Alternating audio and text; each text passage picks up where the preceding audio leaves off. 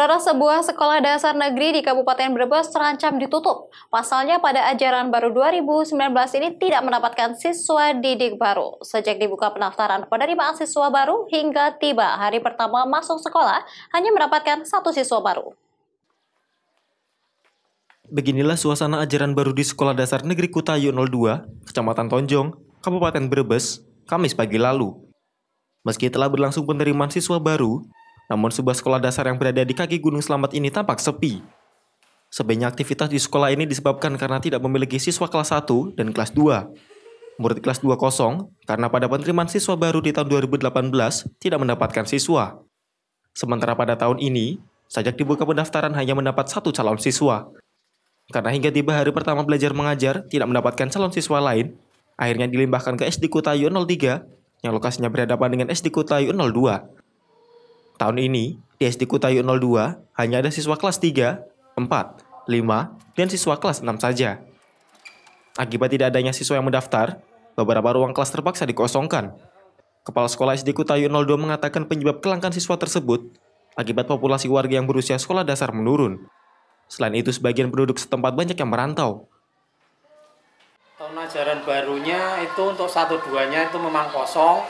Penerimaan kemarin hanya dapat satu, kemarin terus yang dulu tahun ajaran 18 19 dapat 3 untuk sekarang ini jumlah totalnya hanya 34 anak. Berarti tahun kemarin nggak nerima siswa ya? Nggak nerima. Ini penyebabnya? Ya penyebabnya saya kira memang alami lah mas kalau kalau gitu ya. Mungkin berkurangnya jumlah penduduk jumlah jumlah angka kelahiran bukan penduduk ini ke depan gimana Pak? Apa mau ditutup atau bagaimana? Ya, ya itu terserah pemerintah. Berdasarkan data dari kantor kepala desa setempat, Desa Kutayu memiliki tiga sekolah dasar negeri dan tiga PAUD. Rata-rata jumlah siswa di sekolah dasar di bawah 30 anak. Sementara jumlah siswa PAUD rata-rata di bawah 20 siswa, adapun jumlah penduduk kurang lebih ada 3.000 jiwa. Ya tiga kurang lebih tiga ribu lima ratus itu ya itu untuk usia berapa ya kejualan dari keseluruhan Pak ini kan ada beberapa sekolah yang siswanya sedikit itu pengaruhnya apa Pak? Ya pengaruh karena anak-anak kebanyakan kan penduduk eh, Kudayu kan kebanyakan merantau.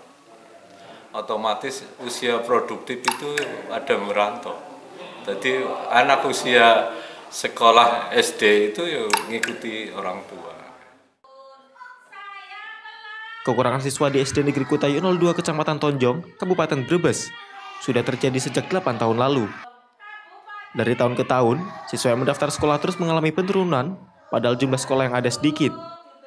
Kepala Sekolah SD Negeri 02 Kutayu berharap, pemerintah memberikan solusi terkait berkurangnya jumlah siswa tersebut. Karena ada beberapa tenaga pengajar honorer atau guru yang tidak tetap yang sudah mengabdi puluhan tahun. Dikhawatirkan jika sekolah ditutup, mereka kehilangan pekerjaan. Yuli Hardianto, Kompas TV, Brebes.